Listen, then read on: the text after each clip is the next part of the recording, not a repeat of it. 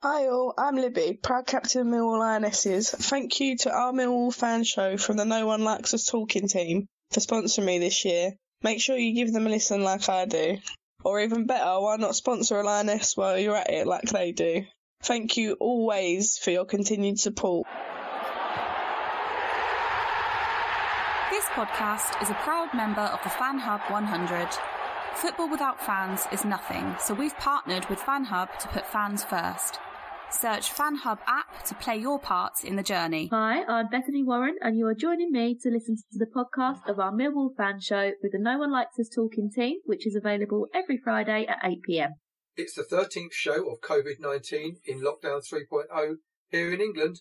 I'm your host, Gary Staff, and I have the No One Likes Us Talking team of Patricia Maslin, Dave Hart, and Henry Morgan. Not everybody likes them, but they don't care. Right, firstly, before I turn to the panel, uh, there is an urgent request. The Lions Food Hub, based in Rennie and Manor Estate Tenants and Residents Association Hall in Bermondsey, are looking for food and financial support. One way to help them, you can find the Lions Food Hub on Twitter and Facebook, or enter Lions Food Hub Banquet. That's B A N K U E T in your browser and make a one off or regular donation. Okay, so let's try and help everyone on that. But without further ado, we need to speak about Swansea. So unfortunately, Pat, I'm going to start with you with that Oh. one. I really wish I hadn't bothered. Um, I, must have,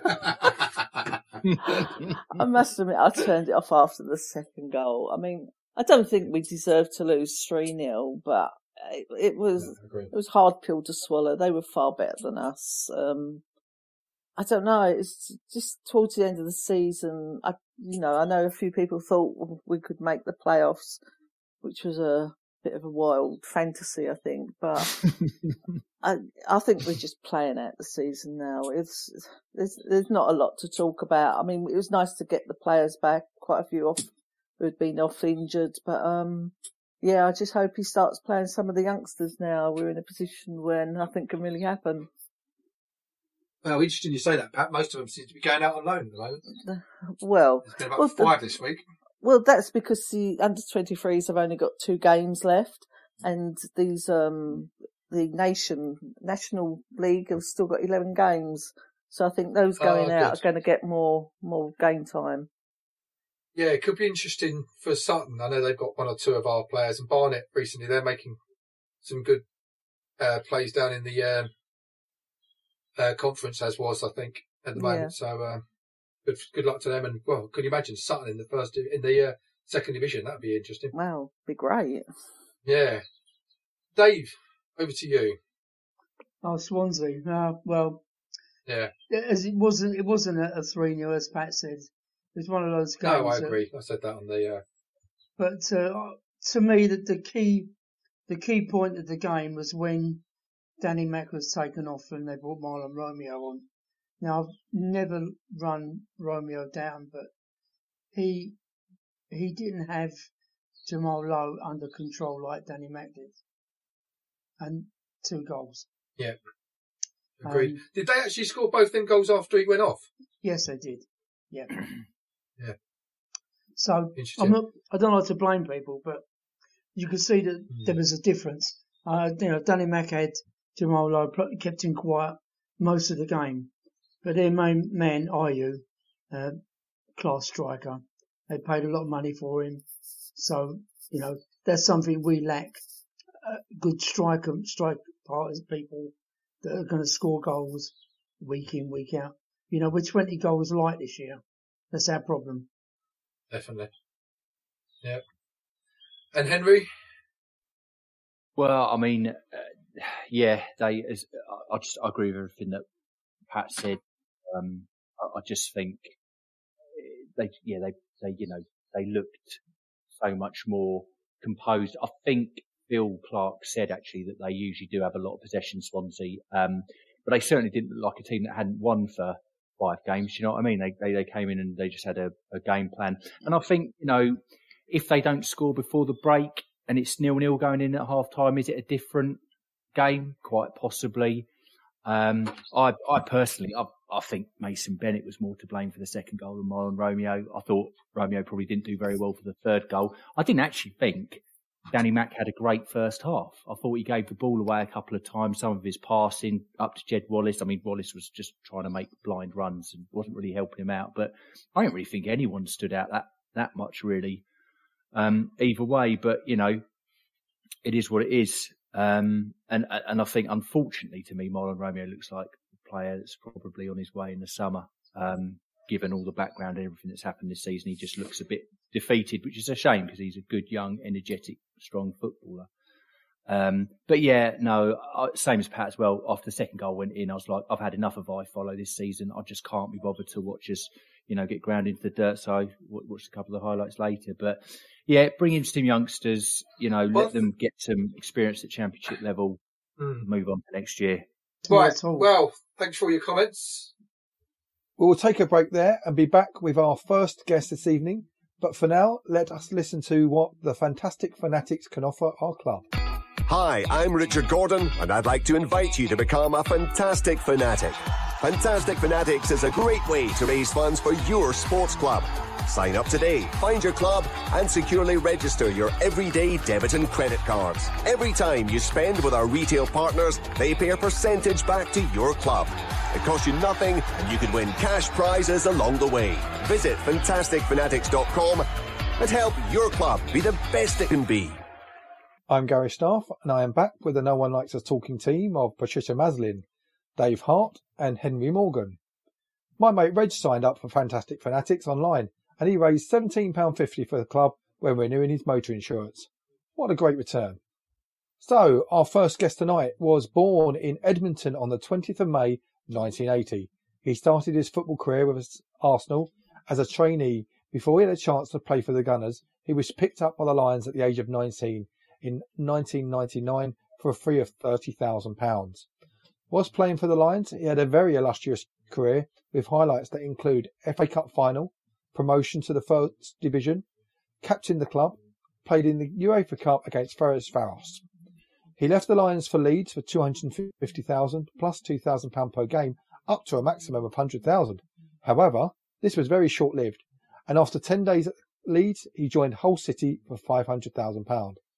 He then went on to play for Oldham, Brighton, Luton, Barnet, and then hung up his boots after a spell with Histon, who he then went on to manage for two more seasons. Millwall and Neil Harris then came knocking again, and he joins the Lions youth setup. In 2015, the Lions sacked Ian Holloway, and the manager job was given to Neil and our guest tonight. The pair managed the Lions for four seasons, which resulted in the Lions being promoted back to the Championship, a top eight finish, and a few Premiership scalps along the way. The pair resigned in 2019 before moving on to manage Cardiff. We welcome to the show tonight an absolute Millwall legend. Welcome, Mr. David Livermore. How you doing? Good. And I need to go and get a drink after that. Welcome, Dave. So before I let you off with the team, David, I just want to ask you, um, how did the first move from Millwall to uh, from Arsenal first come about, mate? In a lot of ways, I was fortunate because I I remember um, it's a good little story actually because I always played. I was brought up as a centre back at Arsenal, um, and the reserve team manager Georgie Armstrong always felt I took too many risks as a defender, so he put me in centre midfield. And I happened to play against Rhino and Macca in the same game. Hmm. Um, I must have made an impression because they come back and watch the next two games after that. And one of them was against Tottenham, which I scored a goal in. The next game was against Crystal Palace and I scored two. Um, and off the back of them three games, I think they decided to sign me. Um, yeah, so that was, that was how I ended up moving on to onto Millwall from Arsenal in, in 99. Hello, Dave. David, it's Pat here. Um, Hello, following Pat. on from Gary's question, when Mark McGee became manager, what changes did he make to build our promotion winning side?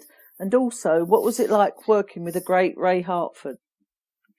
Yeah, um, well, what what we had at the time was we had obviously Mark McGee, who was a, a fantastic people's person.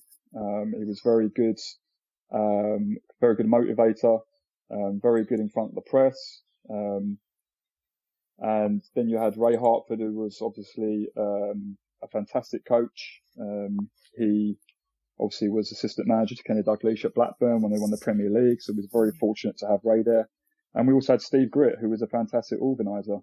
Um, so between the three of them, um, you know, you probably, if you rolled them into one person, you've probably got the sort of modern days sort of Jurgen Klopps and Pep Guardiola's really. Um, so no, Mark come in was very professional. Um, we did a lot of work. Uh, probably one of the first teams that I can remember where we had, um, you know, we brought in nutritionists that went on to work with the England rugby team that won the World Cup. Um, we had uh, Ben Stork, who was our fitness coach. So not only were we a young, uh, talented side with, with good experience in the team, but was also very fit uh, and probably a little bit ahead of our times because of uh, the infrastructure that Mark McGee put in place. Hi, David. It's uh, Dave here. Um, we can't not mention the FA Cup final and everything that surrounds it. Uh, Dennis Wise, Ray Wilkins, Old Trafford, Cardiff, etc. What were your main memories looking back on that? But, but obviously, look, the final was was a you know apart from the result was a was a fantastic occasion, but um, you know the semi final was obviously the game that I think Hmm. will sort of live in the memory probably more because the the prize was so huge, wasn't it? Um, Hmm. You know, it wasn't only wasn't only an opportunity to get to an FA Cup final; it was also, you know, the opportunity to play in a European competition the, the, the season after. Um, and I, I, I remember, yeah, sorry. Sorry, Dave. I was going to ask, actually, you saying about the final. Do you think if we'd have got to half time, would it have been a very different second half? Oh, yeah. Uh, possibly. I think, I think at some, at some point, I'm sure United would have, um, got the better of us at some point. Um, yeah, possibly. I think it would just, um, I think it was probably inev- inevitable that at some point, uh, with the quality that they had in the team, probably in the sort of the later stages of the game, um, they probably would have gone on to win still. But yeah, who knows? If we could have got to half time and maybe weathered the storm for 15 minutes in the second half, we might have had more of an opportunity. But, um, you know, we're playing against world class players, weren't we? So, but, you know, fantastic day, I'm sure, for everyone. Uh, hi, David Henry here, mate. You left Mill after 273 games, and, and as we've just been discussing, like floodloads of memories. Um, you you left us to go to Leeds, and then very quickly on to Hull. So, how did that move come about, and then why such a swift move onto Hull? It's, it's always difficult. I mean, I look back now and I, I probably committed one of the sins that you should never do as a, as a Millwall player, and that's sign for Leeds United. um, you know, so that that probably wasn't the best idea of my career. But in, in, in fairness to me, um, you know, Leeds had just been beaten in the in the Championship playoff final the season before against Watford, um, and obviously Millwall had been relegated, unfortunately. Um, and I was always ambitious. I always wanted to play at the highest level I could. You know, I, I had ambitions of, of playing in the Premier League, which I never achieved. Um, Yeah. so it was a hard situation for me not to turn down that opportunity. But yeah, you're right. I mean, 10 days. I mean, everyone asks me about that a lot. Um, I, the only way I can explain it, and I've, I've, I've met, uh, Kevin Blackwell a few times since, who was the manager that signed me at Leeds, and I was kind of like fourth on their list of centre midfield players that they wanted to sign, third or fourth, maybe third, I think Yeah. he said. Yeah. Um, they wanted to sign Kevin Nicholls and Ian Westlake, and, and neither of them were available. So they signed me. Uh, once they had signed me, within that 10 days, both Kevin Nicholls and Ian Westlake were now available, and he wanted to sign them. So I'd gone from being sort of first choice, me and Shaun Derry in centre midfield, to being Yeah. potentially fourth choice. Um, so he just said to me, look, we've had an offer from Hull. Um, we've accepted it. It's, it's entirely up to you. Now, I've always was a player that, you know, I want to, I want to go out there and earn my wages. I don't want to be sitting on the bench, um, counting my money at the end of the month. I want to be out there playing and contributing. So for me, it was quite a simple decision that if you're saying I'm not Yeah. going to be in your plans or I'm going to have to work doubly hard to get in your team, then I'm going to go to Hull City and, and, and play. Um, and fun enough, that season it's a great decision because we, we stayed up. I say we, Hull stayed up and Leeds got relegated. So Um, yeah. and, and, the, and the season Quality. after we the season after we got promoted promoted to the Premier League. So sometimes these things, you know, have a funny way Yeah. of of Working happening, out, don't yeah. they? Yeah. Um, 2012, you returned to the Den, David, as part of the youth team set up, um, and then stepped up to assistant manager with Neil. What would you say was your greatest achievement as part of that management team? I think there, I think there's a few. I think, you know, I don't want to be critical of uh, the managers that sort of were in between sort of Kenny Jackett and, and, and Neil. Oh yeah, do But- be. Mate, criticise Well- away, mate. Yeah, yeah, yeah. There's you know, nothing to worry about in there, David. Nothing to worry about. Yeah, I know, but I, I know, I know how tough it is. It's, you know, it's a tough job, but put it, put it this way, I think the biggest achievement was probably getting the club back on the right track, you know, reconnecting the terraces to the pitch. Obviously the two, the two playoffs, you know, obviously winning one, um, the eighth place finish, you know, I, funny enough, just because I've got a bit of time on my hands at the moment, um, I, I watched the, I watched the Fulham game when we were sitting sixth Ah, because Yeah. for whatever reason, that first 30 minutes of that game is probably one of my highlights because I thought for 30 minutes we scared the life out of Fulham. You know, we were we were on a 17 game 17 game unbeaten run. I think that was the the best run for 45 years. Fulham were 21 games unbeaten, and we had a real chance of finishing in the in the playoff spots in the championship. And for 30 minutes, we scared the life out of them.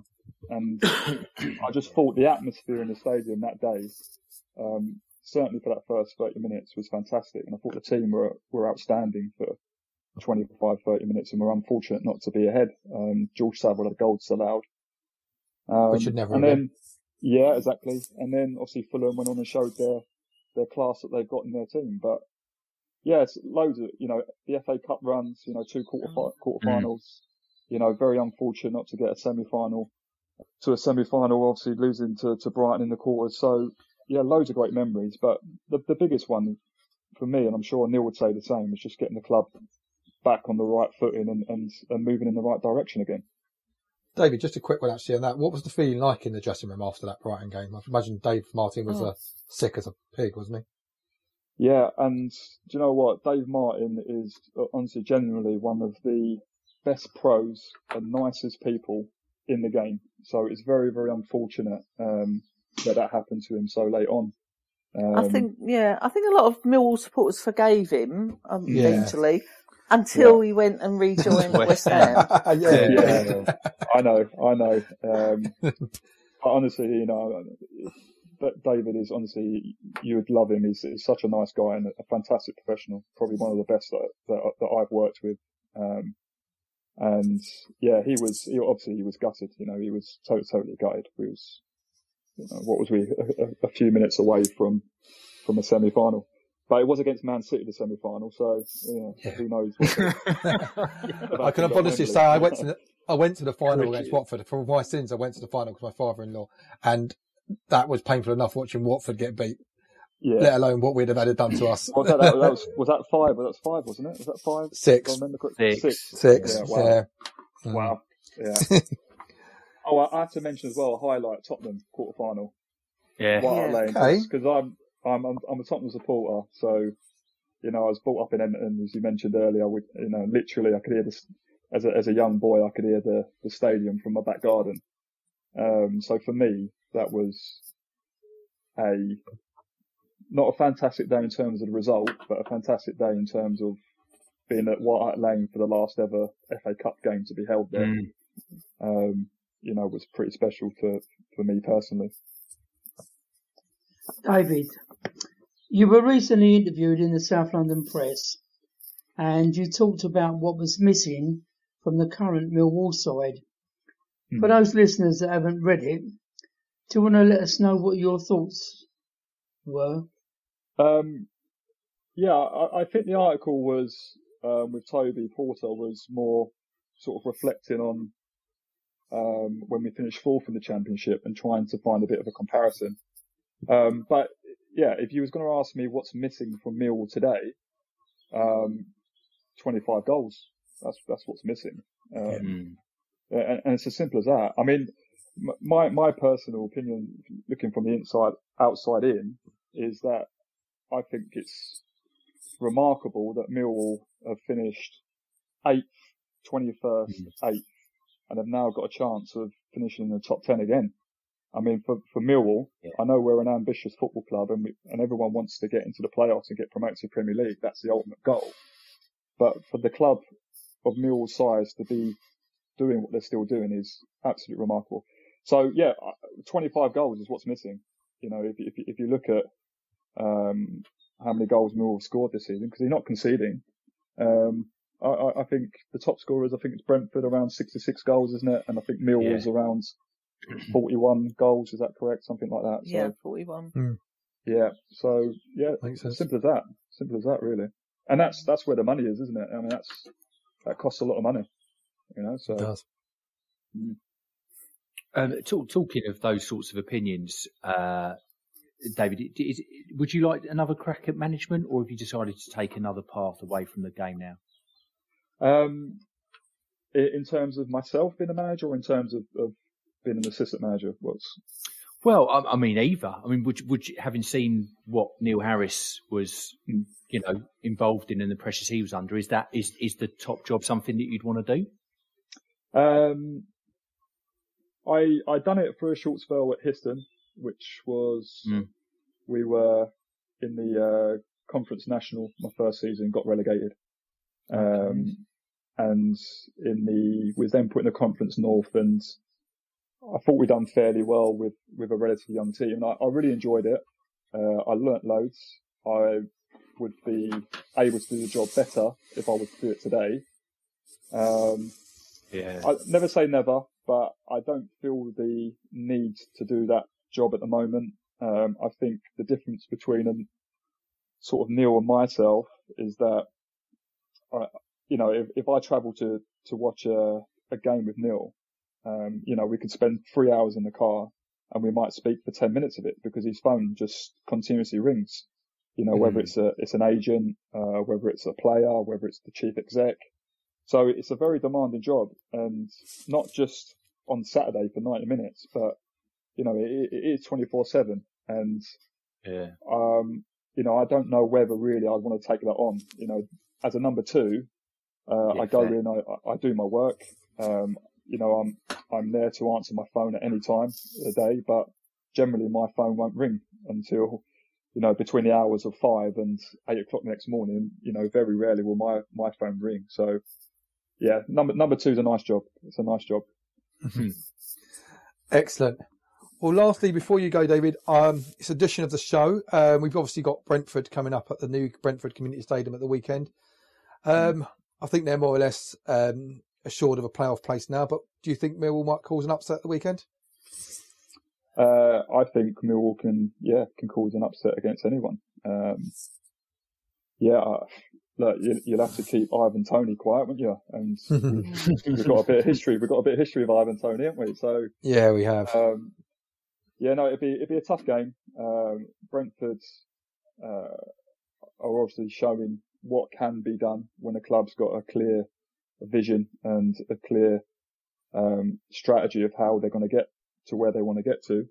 Um, so they're they're a fantastic football club, but you know I, I really fancy Millwall to to get another top ten finish this season. So there's no reason why Millwall can't go there and and and, and win that match. Brilliant. Oh, well, thanks again, David, for coming on the show. It's interesting hearing. I could, to be honest, we could have kept that going for at least another half an hour and talk about a lot more things. Um, But we get you back on. We cover the areas we uh, didn't Yeah, cover no tonight. problem. Anytime, no problem. Thank you.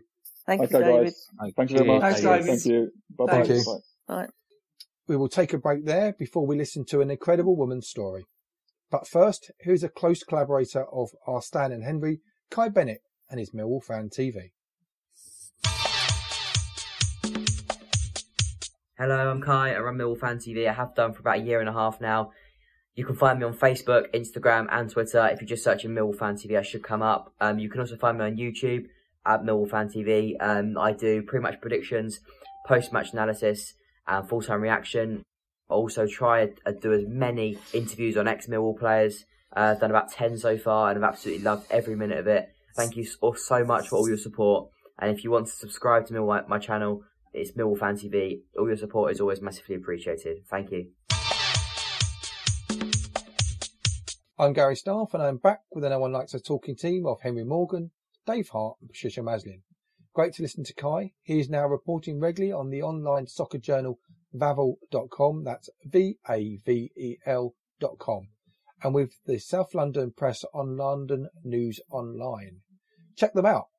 Our second guest tonight is Margaret Mizen, MBE, who came to national attention in 2008. 16-year-old son, Jimmy Mizen, was murdered in southeast London. In the immediate aftermath, Margaret spoke of compassion for her killer rather than revenge and promised not to be beaten by Jimmy's death, believing that something good would come out of it. Drawing strength from her Catholic faith, she has since worked tirelessly with young people across the country, sharing Jimmy's story in schools, pupil referral units, prison, and young offenders institutes.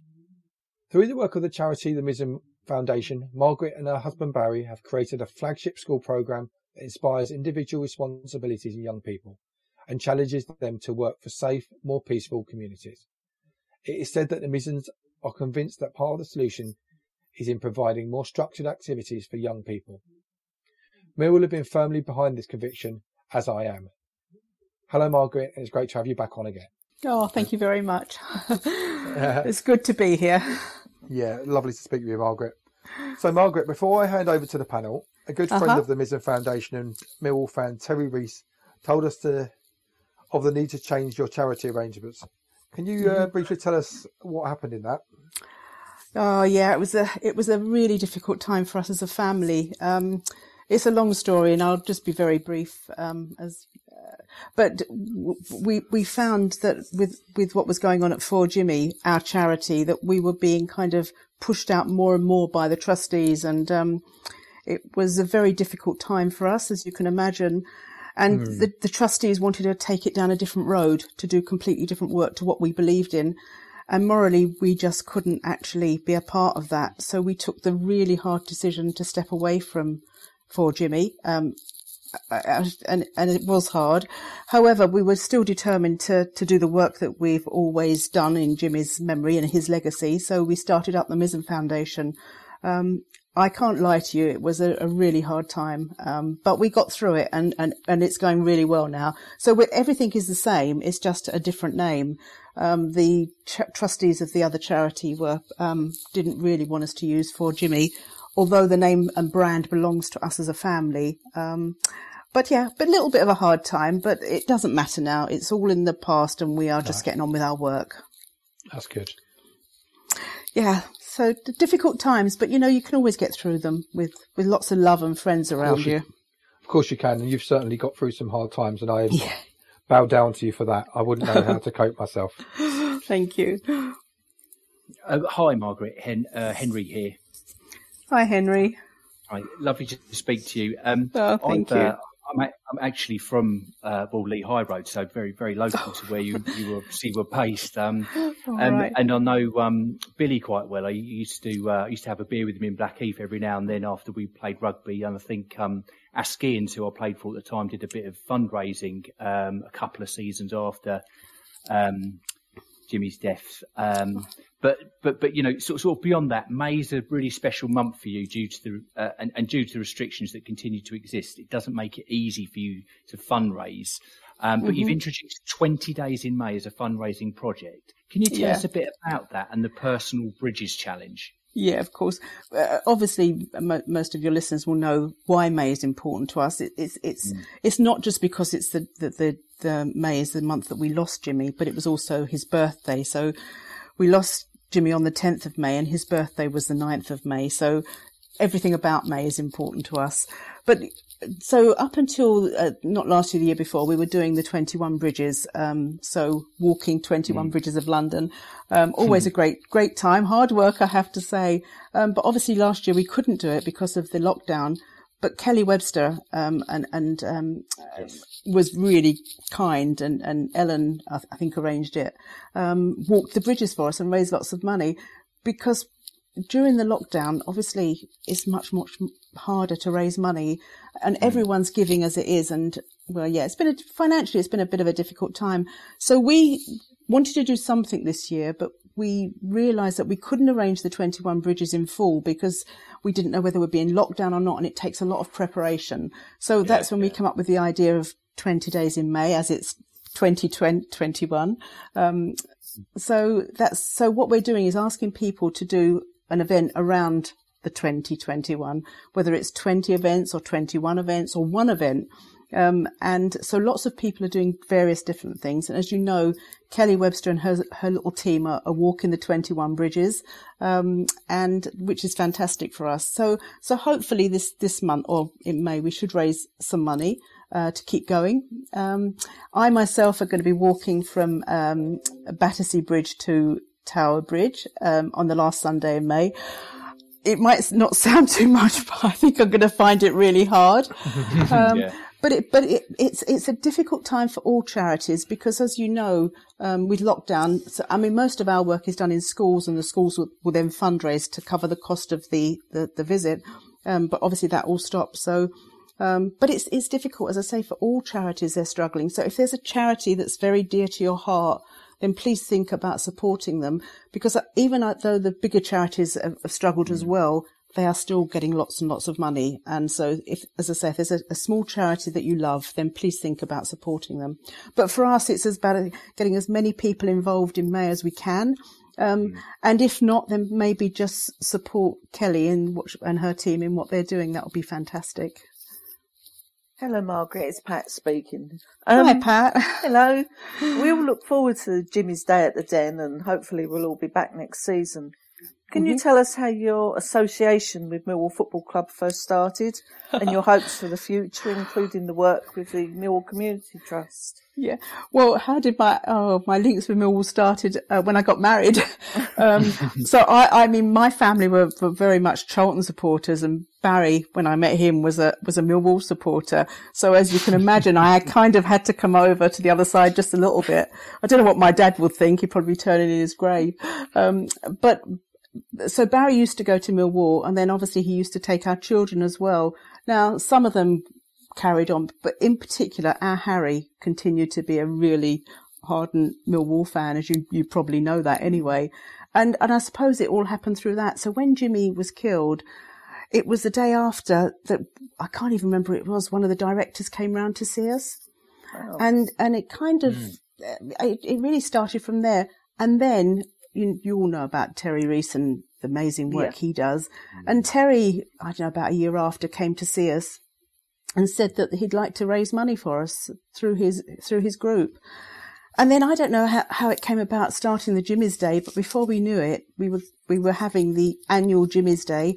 So it was arranged really by th- the football club and our Nicky Walford, as many of you know, we always call her Nicky too, um, and and Terry and his group. And do you know what? I, I can't even begin to tell you how wonderful it is because the warmth that comes from us being at Millwall and the love for Jimmy is just it it, it brings tears to my eyes every, every time we have a Millwall uh, a, a Jimmy's Day. Um, everyone's so kind, but it does take a bit of work. uh, But but the the club have been very very supportive of it, and they help us. They buy the t-shirts, so so there's lots of support all around. Um, and we do do some work with the uh, community, um, um, the, the Millwall Community Trust. I'd like to get involved even more if possible as time goes on because I think what they do is is fantastic. Um, the year before last, before the Jimmy's Day, the week before, we had a, a Jim a, a Jimmy Mizen Cup, and it was a fantastic day with lots of schools being involved. So I'd like to see more of this work if possible. Um, but yeah, Mill- Millwall do a fantastic job. But more than anything, the fans are so generous and so kind, and I think more people need to know that. Brilliant. Hi, Margaret. It's Dave here. Hi, Dave. Uh, It's great, great to talk to you again. Thank you Um, very much. you, you've um, you've already touched on some plans you've you've got lined up, um, but what plans have you got when there's a, a better form of normality in society? Yeah, so we've been working really hard on, on where we go from here. Um, and obviously one of the big things is, is our schoolwork. So, uh, w- uh, you know, Barry and I going to schools along with one of our sons, sharing Jimmy's story. Um, we always call it with a leg- with his legacy of forgiveness, peace, and hope. So we'd like to get into even more schools if possible. Um, we want to continue our safe haven program as well. That's where we are trying to build relationships in local communities because I think a lot of the problems going on today is this where our communities are falling down. So we're going to be continuing all of that. Um, but also we've just started up what we call the Sparkle Award and it's giving a, an award to a young person in a year six class and a year 11 class in schools. Someone who represents the kind of person that Jimmy was. Um, and we've we've been doing it since Jimmy was killed in his secondary school. So in, we're extending that now to more schools. So this year we're hoping to do it to ten schools locally in in in our area, um, just to kind of give the young people a bit of um, thank them for the hard work they're doing, but also, as I say, just to recognise them. Um, um, we want to kind of we also want to recognise the kind of person who maybe in some circumstances doesn't get recognised. I mean, Jimmy was very much a, the kind of person who would have just got on with his work, probably not won too many awards, but just been a really nice person. So that's something we're working on really hard at the moment to, to kind of get that into the schools. So we're just going to keep carrying on with the work that we're doing, but as I say, getting back to normality is perhaps the hardest thing at the moment. We've been doing lots of our schoolwork via Zoom and it's, it's so difficult. So you're talking to a, a hall full of children on a screen and, you know, it's, it's, it's been quite hard work, but, um, yeah, so let's look forward to the normality, shall we? Absolutely. Brilliant. Um, just want to say, Margaret, I actually remember one of the first Jimmy's days because it was actually the uh, infamous 4-4, wasn't it? Oh, And, uh, gosh, yeah, I remember that. Yeah, both both clubs wore different kits, didn't they? Yeah. Just Millwall, yeah. No, I In- think I, I think we both did. You're right, and I tell you, I'm going to tell Yeah. you this. We put on our our Millwall kits that we were given, and they were so tight. I felt like the fat family.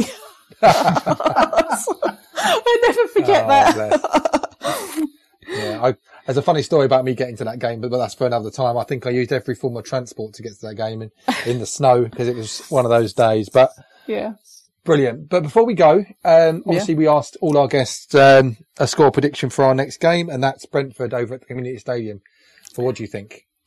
Well, I spoke to my um to my Harry today. I asked for his, for a bit of advice, just in case you asked me that question. I wasn't sure. and his feeling is it'll be one 0 to Millwall with Jed Wallace scoring the goal. So that's my prediction. Brilliant, brilliant, brilliant, brilliant. Uh, well, thanks, uh, Margaret. Absolute pleasure. Um, you do such a proud and amazing job. Uh, Oh, and we wish you. you. and all your family the best and look forward to seeing you at the den soon. In the Oh, meantime. Stan Godwin and Ted Robinson are running up and down their stairs at home in training for uh, to follow behind Kelly on the 21 bridges. And, Fabulous. and next week we'll be promoting more about your 20 days in May Oh. on the show. Oh, thank So- you. If you just support Kelly, I'll be so grateful. It'd be wonderful. And it Oh, we would be always- lovely for Kelly. Yeah, we always do. She's a friend of the show. and We like to get her Yeah. on quite a few times. Oh. And uh, we look forward to getting you back on again. But stay safe, Margaret. Um, it's not long to go now. We will be out of this and uh, we can start getting back down Millwall, Charlton and uh, Yeah. all being friends again. Yeah. Oh, thank you. Thank you for having me on. It's lovely. Bless you all. Absolute pleasure. thank you. Bye-bye. Bye, everyone. Bye bye. Thanks, Margaret. It's time to hear what those other sides under the Millwall banner have been up to. First up is the Millwall Romans. Let's hear from Tom Baker, who was talking to Jay Lemonius. Hello again, it's Tom Baker from the Millwall Romans, and I am here today with Jay Lemonius again, but in a very special excerpt because we are actually currently in the home team dugout at the Den. And we're here because we've just had an amazing training session for the EFL Day of Action with Paul Robinson. Uh, we'll get onto that in a minute, but first off, just to bring you the latest from our first game back at the weekend, we came out 3-2 winners at the London Titans. Jay, what was our first game like back? Uh, it was excellent. First and foremost, I think it was just amazing to be back playing football. Um, I think you could tell uh, sort of the enthusiasm, the buzz uh, when we arrived. Uh, it's not the best away trip to go to, but uh, I think everybody sort of uh, turned up really excited to play, uh, which isn't usually the case when we go away to, to Titans. Um, but yeah, it was an amazing match. Considering it's first game back, uh, we started off really, really well. Um, we were a lot sharper than I thought we'd be, and um, I think actually first half we pretty much killed the game off. Um, really, really good performance, um, and yeah, a lot sharper um, uh, than, than I thought we'd be. So I've, we've brought Jay back because he got a hat trick at the weekend. We actually went out three 0 and then in the last twenty minutes they they brought it back to three two. Why why do you think it was that they they were able to get him back into the game and make it a nervy last last ten minutes or so?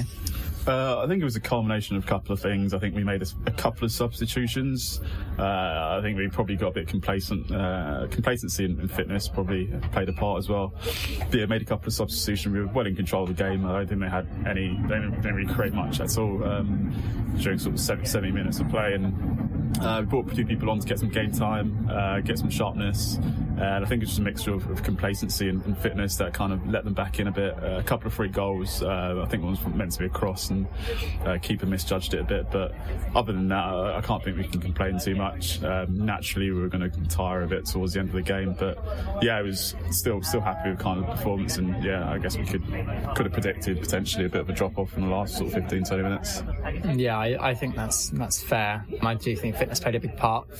Um, but as we are in in the den, it is worth us talking about about our session here today. Uh, Jay, is this your first time here? What you, what are your first impressions like if it is? Yeah, really special. Um, really, really amazing opportunity for us as a club. Um, it's my first time uh, at the Den playing football. Uh, I've never been this close to the pitch. Uh, so yeah, it's uh, it's always special when you get to, to go to grounds like this uh, historic grounds which kind of have a massive reputation. And for us as a club, this is huge. Um, we've got some, uh, got loads of sort of Millwall fans uh, where for them um, it must be an absolute dream come true. Um, and even just for, for the average football fan, just uh, being able to kind of uh, have the opportunity to play on this turf uh, in this ground is, is, is incredible for us, and it's not one not an experience you get to experience every week. Absolutely, Paul did a, a session with us where um, a shooting drill, which often they have on the the Millwall Twitter, uh, to try and give us all an opportunity to score at the Den. I didn't. Jay, did you? I didn't either. Unless you get goals for uh, for knocking the ball into stands, uh, I didn't score either. But uh, it was still it was still loads of fun, and yeah, like Paul, Paul's been absolutely excellent today. And again, uh, another ex- incredible experience and incredible privilege to be yeah to, to be coached by by an ex fantastic player and. Um, and, and yeah, um, a player who's held in such high esteem with, with, as part of the Millwall, fam- Millwall family. And lastly, Millwall have Brentford away this weekend. Tricky, tricky game, um, especially Brentford uh, finding their form, uh, beating Preston 5 0 away from home last time out. What do you think? Uh, I think it's going to be a tough match. Uh, I'm coming off a pretty, uh, a pretty comprehensive loss, uh, but I guess I'm going to tip them to bounce back. Um, potentially not three points, but I'll go with a, with a one or draw. Okay. I am going to commit. I'm going to say, I'm really sorry. I'm going to say 2 1 Brentford. oh, wow. Um, but it was a great return to the uh, league for the Romans. But um, next up for them is the Barnes Stormers. And uh, it was great to hear they enjoyed their day at the Den. Over to you now, Pat. Millwall Lionesses played their second friendly on their return to playing football after their league was abandoned, once again following government restrictions. On Saturday, Katie Whitmore's side gained another victory and a clean sheet at St Paul's. Abby Dell looks to be on fire as she added two more goals to her tally from the previous week as the Lionesses ran out five goals to nil victors against Upton Park Ladies. Wednesday night saw the Lionesses go to Dartford to face Kent Football United. I then spoke to assistant manager Alex Russell. Alex, after a battling performance from the Lionesses last night against a very good and determined Kent Football United, how do you think the game went? Yeah, I think the game went well. I think going up against a side that are two tiers higher than you is always difficult. I, I think that golf in, in quality in playing from six to four is is a, is a big jump as opposed to, for example, nine to seven or, or eight to six. I think that, that that gap is a big jump, but I think the girls demonstrated that there's no reason why they can't look towards that in the near future. Maybe not right away, but definitely competed for large parts of the game. You know, Kent scored early and they scored late, so we demonstrated that from that third minute onwards, yes, we you know a little bit asleep, but we demonstrated, like I say, that we, we could compete and we were in that game for a large proportion of it, um, coming close with a few chances of our own whilst dealing with what came through us. Millie Carter was exceptional in the Millwall goal last night and had an outstanding game. How pleased were you with her performance? Yeah, Millie, as per you know, Millie Carter being superb. You could say water is wet. It's, it, we say it every week. Um, it it really does install. I can't even describe how much confidence it must install into the back five in front of her. I think we like to, Katie and I try to sort of implore that we play play out from the back. So you're going to be a little bit more risky with what you try in terms of you know playing out from the back and inviting pressure is is difficult at any level, but doing it against a, a Kent Football United, having Millie Carter behind you means you you're that little bit more confident in that pass because you know if it doesn't go to plan, she'll bail you out nine times out of ten, um, and she did. She was exceptional from from start to finish, um, and and kept the scoreline as we've said, very respectable. I think 2 0 against the Kent isn't isn't bad at all, and I don't think that she should let her head drop for either of the goals. They were very well taken goals, um, and very well rehearsed, and it's something that we can learn from, and hopefully won't be conceding goals like that again. Yeah, I agree. Kent were a real test, but where do you think the game was lost for us, aside from the goals, of course? Yeah, Kent were definitely a real test. I think someone like Amy Russ, for example, there, there were moments in the game. I'm, I'm instructing the defence, show her onto her left. She shifts it onto her left, and a shot that's going into the top corner from 25 yards. Like having a player like that in your midfield is that would be pivotal to any side. So I, I think you know, in hindsight, maybe we should have added another player into the midfield.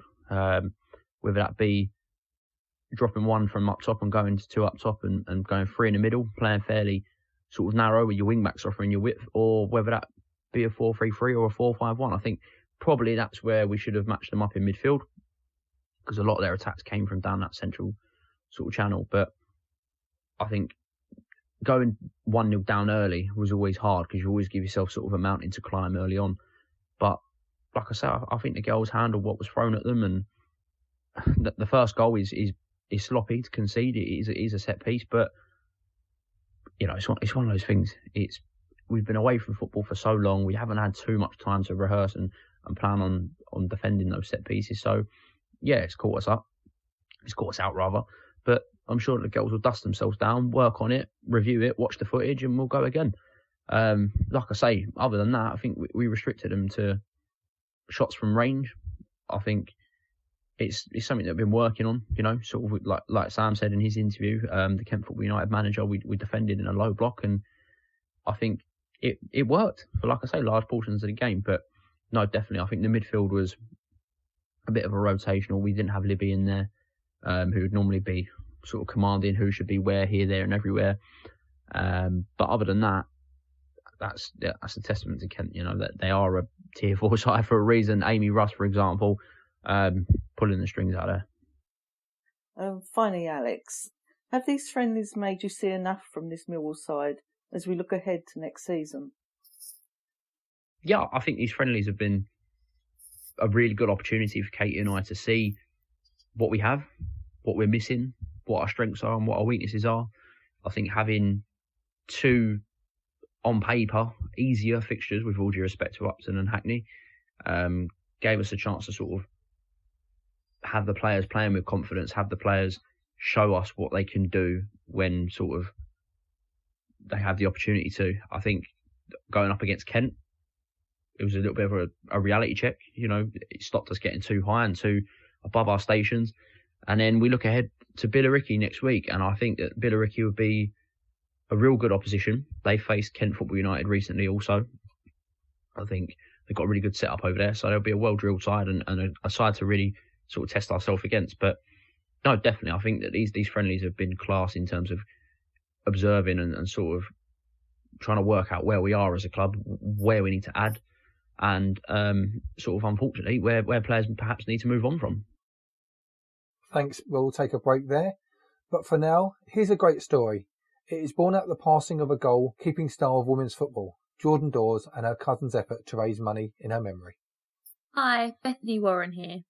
Millwall fans Danielle and James will be running the London Landmark Half Marathon in August in memory of Danielle's cousin, Jordan Dawes, Listen to Danielle tell her story. Hello, so I am running the London Landmark Half Marathon in August. While training for Tough Mudder, which I'm doing in September, I feel I got the bug for running. I wanted to give myself a challenge and while raising money for Ellenor. Jordan's memory lives on forever and as a family we honour her memory by giving back to the charities that gave their care and support during the darkest of times. Jordan lost her battle to cancer in 2019.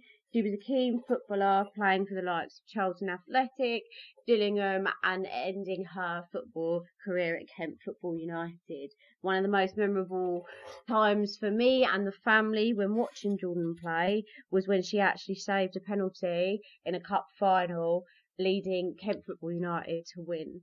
She was an infectious person to be around. Her smile lit up the room. She was keen in talking to James about Millwall. She would come with us as of when she can. And the last game that she actually went to was the FA Cup game against Everton, where Millwall actually spoilt her, made her feel really special. She was able to meet some of the players, have her pictures taken with the keeper at the time, and was actually given the treatment of being able to go into the exec lounge as well. Uh, the way that people can donate, and we really would appreciate if anyone can, big, small, whatever it is, is through my pinned tweet on Twitter. My Twitter handle is Danny L one two zero six, and that is D A double N I capital L one two zero six. Or you can go through Just Giving website. That is justgiving.com forward slash fundraising forward slash Jordan George half marathon. Just want to thank everyone for taking the time to listen and anyone that donates. So thank you. What a story, and what a lovely couple Danielle and James are doing this together. So, if you can help, you can just put James and Danielle fundraising for Ellenor, that is E L L E N O R, into your browser, and the Just Giving page will be shown. I'll say that again. Just put James and Danielle fundraising for Ellenor, that is E L L E N O R, into your browser, and the Just Giving page will be shown. Thank you. A link will also be in our announcements on Facebook and Twitter. I'm Gary Staff and I'm back with the No One Likes Us Talking team of Henry Morgan, Dave Hart and Patricia Maslin. Danielle and James, I wholly salute you and keep up the good work. Well done to you both. Our final guest this evening is the Chief Executive of Millwall Communities Trust, Sean Daly. Hello again, Sean. Hope things are well with you. Good evening. Hope you're all well. Yeah. Evening, Sean. Good evening. Good evening. Evening, Sean. Henry here, mate. Um, how how are you, Henry? Yeah, not bad, mate. Great to speak to you again. Um, busy week this week with the launch of the bursary fund and obviously the uh, EFL Day of Action. Can you tell us about your involvement in that Day of Action? Yeah, it's it's a thing that the EFL um, do every year where they want um, all the clubs and the trust to sort of like showcase the work they do day to day. And they came to us about a month ago and sort of said, look, could you showcase something that the trust and the club are doing um, regular or, or around Yeah. now? Um, but I knew that most clubs would be sort of latching on to the COVID 19 situation of what they're doing, you know, Yeah. free holiday camps, um, supporting the community. And I wanted to get something different. I thought, you know, I want to showcase Millwall, Millwall's family and what we do around inclusivity and etc. So spoke with Billy at the club and said, look, I don't really want to show much around what we've been doing in COVID. That, that's been highlighted enough, I think. Um, I'd like to have the pitch and I'd like to have a sort of a coaching session with the Romans on there and sort sort of show the diverse work that we're doing and reflecting our community really. And Billy and the, the club just bought into it straight away. Um, I said I'd like to get someone, you know, a legend to coach if possible. And Robbo came forward and said, look, I'd love to be involved in it. And that was it really. We just, um, they spent the afternoon at the den coaching, uh, listening to stories about, from Paul about his, his journey at Millwall. Um, it was a great day, really great day. But I just wanted to sh- sort of show something different because I knew Yeah. everyone else would- would be showing, you know, their support around COVID. And we've had loads of profile around that about the NHS. And I just wanted to show something different. I wanted to show our family really and what we're doing. Yeah, it's a great idea. The bursary fund is a great opportunity for young people generally. What would the fund support? we receive donations, and, and I, I talk a lot about you know that how the fans and the club have supported the trust. And, you know, I'll get the odd donation here and there or, or someone will ring us up and said, you know, can I help you with any support? And with everything that's gone on with the pandemic, you know, young people are going to really suffer, I think, in the next six months, a year, two years, where, you know, they're, they're going to struggle to get into employment, they're going to struggle to get into college, they're going to struggle to get into work, etc. And what I wanted to use the bursary was was to support those young people, not not major support them as in um, you know thousands and thousands of pounds, but sort of be able to sort of say, well, you know, if we can help you get over a certain barrier, we will. And I've spoken to a lot of young people before I launched it. I spoke to a lot of young people and said, you know, what barriers do you have to get you through certain things, you know? And people say, like, you know, going for an interview for a job, I haven't got a suit. Well, I'd like to fund something like that. So he that young person builds their confidence and is able to go for an interview and feel he's a part and he, he deserves that job. And, you know, things like, you know, transport for someone to go for an interview or go to a college interview or get to, to get to work or anything like that. I want to try and support things like that to get them over the certain barriers they're gonna, gonna get. And what I felt during the, the COVID, I, I realised, you know, how many young people haven't got technology um, like laptops or phones. How can we support them? Because technology has taken the world. So I really just want to just to support young people getting over a certain barrier that may give them that confidence to go a little bit further in their life. Things that we we just have all the time. Those young people haven't got it. So I want to try and support them that way. Uh, great work, great work. We have produced a new advert highlighting the bursary fund, which you can hear later. Oh, thank you very much. Great, Sean. Um, short and sweet, but the work you do is never that. And um, we appreciate, and of course, you're a big uh, fan of our show, and we obviously a fan of all the work you do. So thank you again for everything you do, and uh, I hope the bursary fund is a real good success for the uh, community trust. No, thank you for all your support. Thank you. No problem. Thanks, Sean, for that brief. Uh, but Brentford up next. What do you think?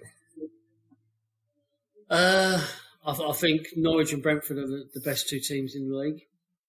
Uh, my heart's saying I'd love a draw.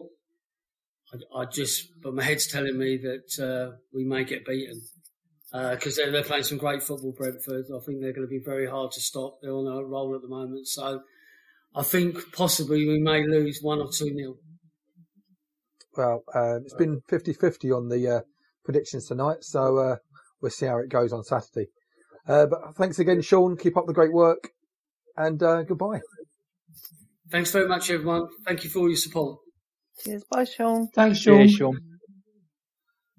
Great. Well, it's time to look ahead to uh, what's coming up next for our Lions. But first, we'll hear from that Twitter and Facebook video sensation, Ellis Barr. Hi, everyone. Ellis here. Thanks for watching my videos and thank you for all your support. But now it's time to look ahead to your next match. Come on, Nero! Gets me every time. Thanks, Alice. You are so well and our introducing star. So next up is our Henry Stato Morgan. Uh, he met up with Billy Grant, aka Billy the Bee, as the fan of the op- opposition. Let's hear what they have to say ahead of Saturday's game. Welcome to View from the Opposition. This evening we're talking to Brentford and England fan Billy Grant from the Beesotted Pride of West London podcast. Welcome, Billy. Right, Henry, how you doing, mate? Uh, yeah, not too bad. Not great after last weekend's game, where I think there's, it looks like there's an eight goal swing towards uh, Brentford with us losing 3 0 and you winning five, right? Up at Preston, is that right? That's right. Yeah, it was a good weekend for us, to be quite honest with you. Um, yeah, well, look, Brentford this season, uh, 120, lost seven, drawn 13. I noticed that only Norwich and Watford have lost the same or fewer games than you. These are the numbers. What's the actual story of your season so far? It's quite interesting because I've never actually looked at our season like that and on a whole over the whole season. And actually, when you look at it like that, it looks quite good. I mean, everyone yeah. remembers us for last season, the fact that we got to the playoff final yes. and we lost in the last ounce the last few minutes to the, the F word, which I can't actually really say at all, actually, because it's a bit of a West London rivalry thing. But yeah, it's quite bad to have lost to them lot in the playoff final. However, you know, I'll be honest with you. Um, you know, it was it was a gutter because also we had a great team last season. We had, you know, Ollie Watkins, we had Ben Yes. Rama, we had the Bumbumo was firing, we had Josh Dasilva who's firing, we had a, the second tightest defence in the league. And to be quite honest with you, and I'm going to say this for now, that you know, in principle, we shouldn't have, got- we should not have, um, you know, we should not have. Well, we shouldn't have even finished third. We didn't. So what Thomas Frank has done this season, he's decided. Tell you what, let's be a lot more practical about the way we go about our football. Okay. Let's try and cut out these problems where we're not going to be losing these one 0 games, and you know, and and let's go for it. So this season we've been playing some good football. I'll be honest with you, we don't Yeah. look nearly as pretty as we did last season. Who do Wall need to look out for this weekend? Ivan Toney, obviously, he scored in the return fixture at the Den early. I can't believe it was back in September now. Um, who else do we need to be wary of? We took a player who has been playing so-so up front as a winger, Bryan Mbeumo, who's actually a winger, you know what I'm saying? and we put him at left back. And he was a revelation at left back because all of a sudden Yeah, that, that brought back our wing back play and we were fantastic against PNE as well. And also Christian Norgaard, who is normally our CDM. We put Yes, him into the centre yes. of defence. We, we did a three-man defence, which was a lot more mobile as well. And he was absolutely brilliant in the centre of defence. So those are two players that I say that you should look out for um, in, in particular because they're they're two. I mean, the whole team. I love the whole team. You can hear me gushing about them. I'm just I'm pointing these two players out because they've been quite instrumental in the way that we've actually you know managed to turn things around at Preston and also Fosu as well, who's normally a left winger. He he doesn't normally get a start, but we started him on Saturday, and he also was given a bit more of a free role. So he was actually doing quite a lot of things, very creative things as well as a free role in the midfield. So I'm asking you to look out for these three players who are probably slightly different um, than people would normally say to you. You should look out for, you know, Pontus Jansson or you know Yeah. Josh Dasilva, or whoever else like that. But Okay. yeah, check them out. Okay. Is there anyone uh, that Brentford will be particularly wary of coming into the game? And it's interesting. I mean, your goalkeeper's at Bill Bilkowski, Bilowski. yes, yes. He, he always, um, I Oh, think he's a, yeah. quite a good goal, goalkeeper as well. Was was he at Reading? I'm not sure if he's at Uh, Reading. Reading Ipswich. Oh, was at Ipswich, that's right. yeah. He was at Ipswich, man, and he was wicked. He was wicked at Ipswich. He was. And then he came to Millwall and again and again. I don't know if it's just against us, but he seems to have some really good games against us. So I do rate your goalkeeper as well. I noticed that Mahlon Romeo isn't playing as much as he should do. I thought that he was a really I good up and coming player. Very I've heard player. there's a bit of activity that's been happening down at Millwall. Seems to have been sort of kind of sidelining him, which is a little bit sad because, uh, yeah, well, you know, the guy's sticking up for what he believes in, which is what I believe in because I'm, I'm a black football supporter and uh, I believe in exactly the same thing that Mahlon believes in as well. So it seems like a bit of a shame that he's been sidelined for, uh, well, for being a black footballer. But anyway, we should move on from that Yeah, as yeah, well. no, and also, who else? Who, who else is there as well? And there is um, Ryan Woods. We loved Woodsy at Brentford. We were gutted, absolutely gutted when he left Brentford. So, uh, so that will that will do for me. Have you got a score prediction for us? What, what do you think, especially after last weekend? I think I'm, I'm feeling slightly more pessimistic uh, than I think Um, I was before that Swansea game. Um, I'm going to go for the two 0 for the mighty mighty bees.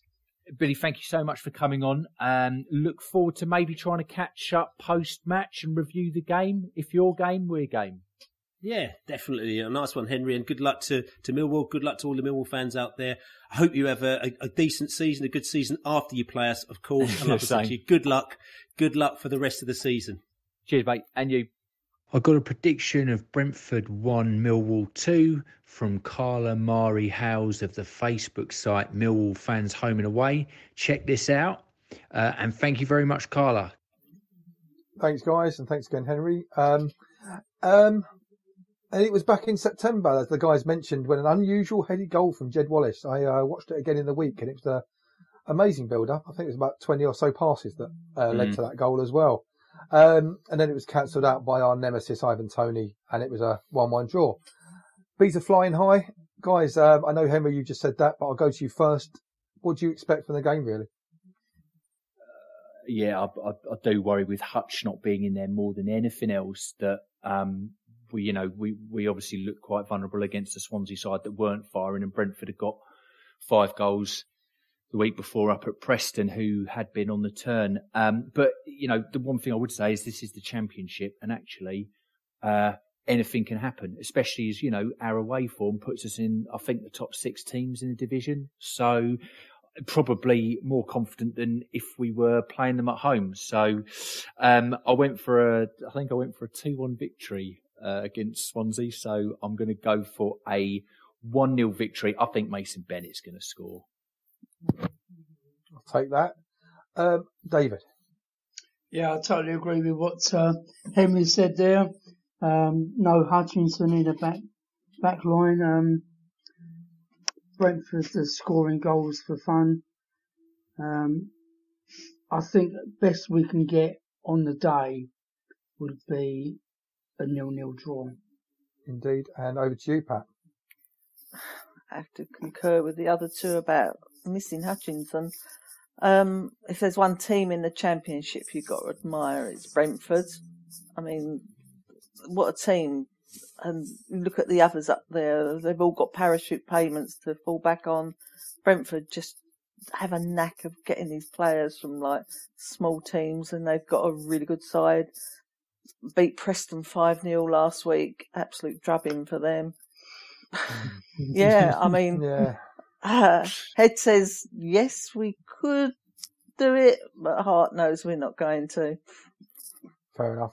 But you say about Hutchinson, I know they play Pearce in there, but I don't think he's not mobile enough for the No. teams we're playing at the moment. I'd probably put Evans in there and maybe bring Woods back into the middle for a bit of a. Yeah, I, I think mobility. Pearce has reached that Morrison stage Yeah, where I you're agree. just Yeah. not quite good enough for that division. Yeah, I agree. Mm. Okay, and I'll go um, a one-one as well.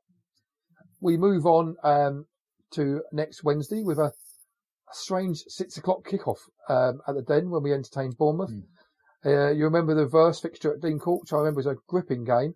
Uh, Jed Wallace blew a one-on-one um, with another one headed off the line, and a Jed hit a fine free kick that brought a great save from their keeper.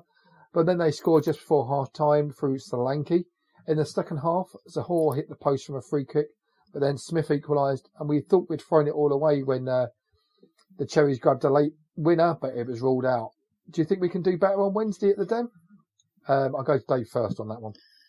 Bournemouth are one of these teams that um, on the day they can probably beat anybody, but they're beginning to slip up a little bit, which has mean that Brentford, Swansea are picking up on their their slips.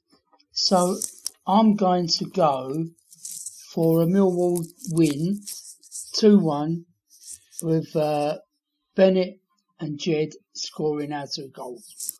Okie dokes. And then on to Pat. Yeah, another hard game.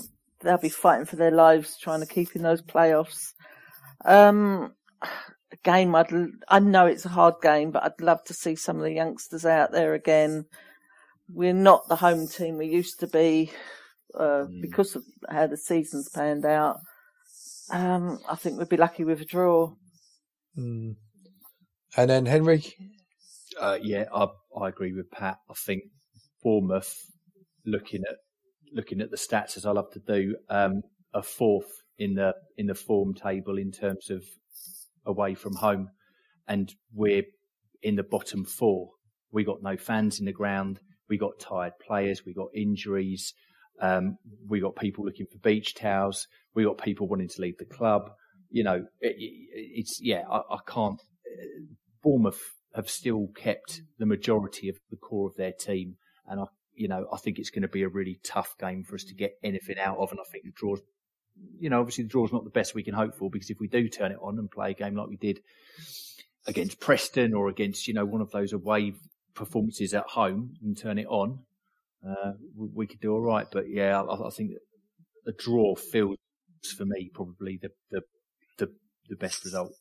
Let's just get the quick fire results. Dave, what was your score in there again? 2 1 to Millwall. 2 1. Patricia, I go nil nil. Henry. Oh, I was, I was going to go nil nil as well, Pat. All right, I'll go one all. Yeah. and then I'll go for a Desmond, uh, a 2 2. Yeah. so don't forget, you can hear, as we mentioned earlier on, that um, Henry will be reviewing the match at the weekend. Links will be available on our social media sites and Spreaker. We'll take a break there for a new message from Patricia Maslin with an introduction from that Millwall hero, Harvey Brown. Harvey Brown here. I miss my football at the Den. Did you know Millwall Community Trust are continuing to help people of all ages from different walks of life and are doing so much good in these tough times? But they need our help. Here's Patricia to tell you more. Oh, thank you for that intro, Harvey. Millwall Community Trust appreciates your support. You are a star. The Millwall Community Trust, MCT, have launched a bursary fund this week to tackle financial hardships. The bursary fund has been put in place as an initiative to aid individuals participating in an MCT activity or program. The funds will be awarded to help further an individual's career and potential at MCT, whilst also supporting continued participation in MCT programs. Sean Daly, CEO of the Trust, said, Funds raised from our fundraising events and donations from supporters of the Trust will support the MCT's bursary, which will in turn offer financial support to participants on our programs. For example, helping with travel expenses so they can attend, providing clothing for young people, and working with or paying for a haircut for an interview. The Trust is excited to provide this opportunity to the local community. Through all the funding and donations, support will be provided to those who need it. Jubin Sarami, who was part of the initial fundraiser for the fund, said, It was amazing to be able to raise funds for and launch our bursary fund. We achieved this with support from our amazing fans who took part in a month long virtual race around Europe between all the host Euro 2020 cities. Our fantastic fans ran, cycled, and walked nearly 6,000 miles. Thanks to them, we were able to smash our fundraising target. The bursary fund will be open to all participants of Millwall Community Trust programs. The scheme has been set up to help support participants to take part in our program and help them achieve their goal without finances being a barrier. We are really excited to launch the project and will always welcome donations. For further information about the bursary, please email Sean Daly, that is sdaly at millwallcommunity.org.uk. I'll spell that out, that is S-D-A-L-Y at millwallcommunity, all one word, dot org dot uk. If you wish to make any donations, insert Millwall Community Trust into your internet browser, click on Donate either on the browser page or on the header of the MCT website. Thank you.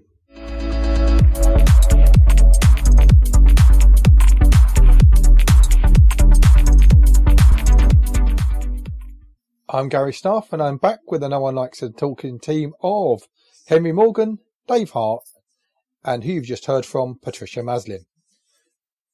People are still losing their lives to this dreadful virus or as a consequence of suffering from it. High levels of infection remain with us and many people continue to be hospitalised too. Our thoughts go out to the victims, their families, friends and those who take care of them.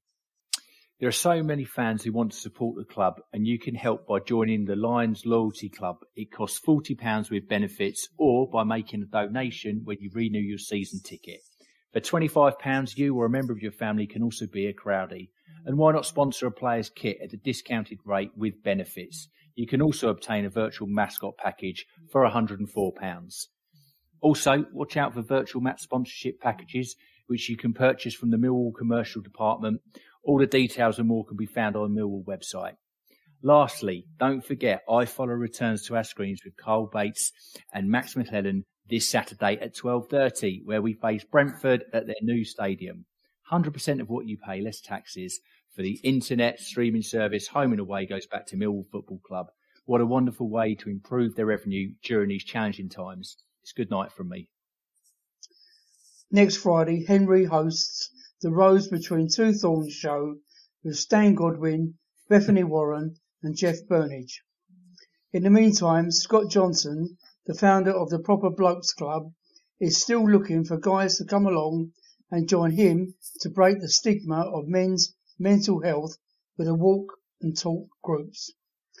Walks now take place on Thursdays and Sundays, once again from HMS Belfast. Check out the Proper Blokes Club on Twitter and Facebook for further details. And that's good night from me. And don't forget, Millwall Lionesses and Romans are now playing football under the current restrictions. Nevertheless, these games are not currently open to fans. The Lionesses are holding open training sessions for prospective new first team players. These commenced on the 7th of April. You will need to register interest on a form to attend. These are available on their Facebook or Twitter sites. Millwall Romans return to playing and training. Potential joiners are welcome. Make contact through either their Facebook or Twitter pages.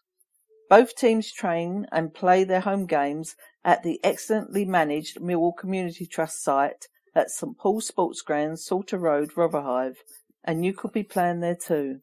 Good night. Lastly, let's not forget to keep it safe on the streets out there. Follow the lockdown guidance, social distancing, and a face mask when necessary. That's it from me. Thanks, Henry, Dave, and Patricia. Until next time, good night.